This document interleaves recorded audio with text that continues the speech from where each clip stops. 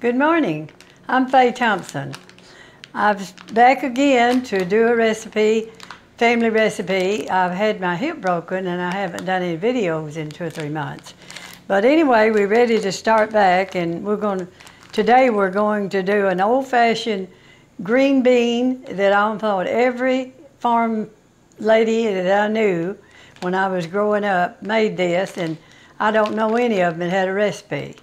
My mother didn't leave a recipe and so for a long time I looked for this recipe because I knew how it tastes. It's not my mother's recipe because I don't know for sure, but what they did uh, during uh, harvest season for their gardens, they had the green beans, they had the onions, they had uh, the potatoes, they had, and then they just cooked it all together. So we'll try that recipe today, and uh, I hope it turns out good, and I hope uh, we hope you'll like it if you ever try it. I talked to some people that grew up the same time I did to try to see what they thought that tastes like and what they figured out how they made it. It was a very simple thing. They just boiled the potatoes and the onions uh, and uh, the green beans, but uh, I decided to add a little bit to it. I, I had the bacon.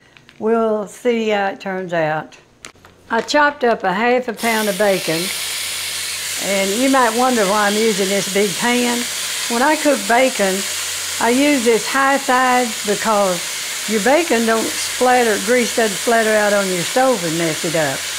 That's, uh, it's a little bit big, but uh, I don't care for that. I just rather have that to have my stove messed up. So we cook this till it's uh, brown, and uh, we're going to take it out and cook our onions in the bacon grease. Used to, when I grew up, uh, I have in uh, garden. Uh, you know, we had to chop the garden. And I'm not sure uh, all the varieties of green beans, but my mother's green bean, favorite green bean, was a Kentucky Wonder. And it had a lot of strings on it. You had to pull all the strings out and snap them. They, they snap when you, when you push on them a little. And I had to help do that. So I was too young to uh, really realize how important it was to get these recipes. I didn't know any of those women back then that had a recipe for green beans. They just, my mother-in-law was the same way. They just knew what they was doing. They'd go out in their garden, they'd get their green beans and they'd get their uh, onions and uh, everything that they put together. Now, I, I don't remember bacon being in it. I've added that. Yeah, I can, I can remember the taste of foods and a lot of times I try to copy that. As old as I am, I can pretty much remember the taste of it. And if I want to put a recipe together that was way back then, it's sometimes it's hard work though. You have to really cook a lot to and think about what you're doing uh, before you get the right recipe. Now there is a lot of recipes even for this, green beans and uh, potatoes. You'll see a lot of that on internet, but a lot of it I've tried and I didn't like. It wasn't the old-fashioned way they fixed it. But it also has something else at the end. We boil the liquid down and, and till it's uh, oh, all the liquid is absorbed out of there. But you serve that over the bean. They didn't do that. They cooked it in water. I'm cooking mine in chicken broth too. I don't think my mother did that. They had uh, potatoes, and when you harvest them, uh, you'll have some small potatoes, and that's what they used in these green beans. Now, if you got a potato that small, which is about an inch in diameter, uh, you won't cut it, and you don't peel them. When you got one like this, that's about an inch and a half, you want to cut that one in two. I wouldn't even cut that one. It's, but all of these others, they were a little bigger than that, so I cut them. You know, you wonder why, of all the modern cooks, and they, they got some great food out there, uh, why you'd want to go back and cook the food we used to eat. I'm videoing a lot of this. I started out doing it for my children. And I want them to have a history of our recipes, how we ate when I was a child. In fact, I think I like my cornbread better than I did my mother's. Uh, my mother-in-law taught me to make cornbread. She made great cornbread. Okay, I think this is ready to take up.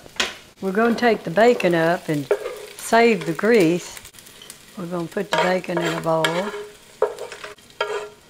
We have a couple of tablespoons maybe of uh, bacon grease and we're going to put our onion in it. This is one onion and you don't have to chop it up real small. We cook this until it's tender onions and it takes two or three minutes to finish that. We got about two cloves of garlic we're going to add to these onions. You don't want to cook garlic too long. Get your onions started cooking and add it a little later. Let me see how much red pepper that was. It's just a fourth of a teaspoon, so it's not very much. And it's optional. If you don't want to use the red pepper, it's fine. But, you know, red pepper is good in a lot of vegetables. Okay, we're going to add our chicken broth, which is three cups.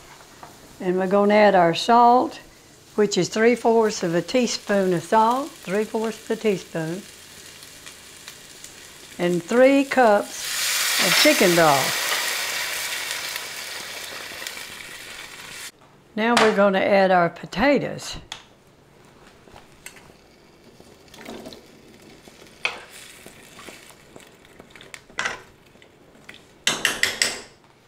We're going to bring this to a boil and then we're going to cut the heat a little bit and, and simmer it.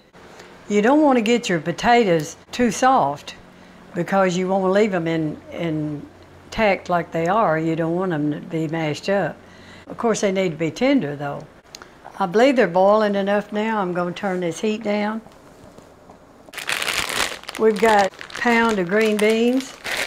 I bought these fresh and then I didn't cook them about, uh, oh, two weeks ago, so I stuck them in the freezer. And I don't think it's going to make any difference in the way they taste.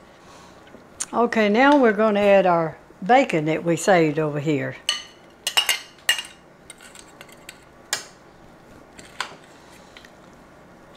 It looks pretty to me. Cover this, I think, we're going to need to turn that heat up some. I'm going to turn it up on about a,